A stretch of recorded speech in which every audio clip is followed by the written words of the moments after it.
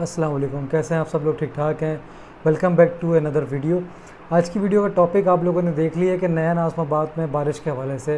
क्योंकि जैसे कि आप लोगों को पता है कि भी बारिश का जो मानसून का स्पेल है, वो कराची में आ चुका है, दाखिल हो चुका है। कराची में बहुत सी जगहों में बारिश हुई है, कहीं हल्की, कहीं तेज़ बारिश हुई है।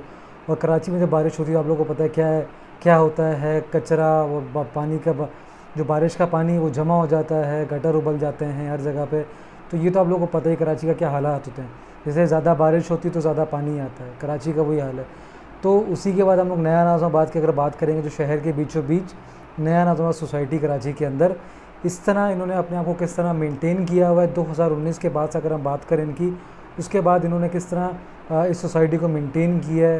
ये सब आप लोग को दिखाएँगे, लेकिन तीन स्टेप्स हैं इसके। एक स्टेप हमारा जो वो है कि पहले बारिश से पहले, बारिश से पहले की जो कंडीशन है वो दिखाएँगे। उसके बाद बारिश जब हो रही थी वो वाली कंडीशन दिखाएँगे और उसके बाद बारिश के बाद की कंडीशन ये तीन कंडीशन है जिसमें आपको समझ आ जाएगी कि नया नाजमाबाद ने बारिश से निपटने के लिए कितना अच्छा इंतज़ाम किया हुआ है।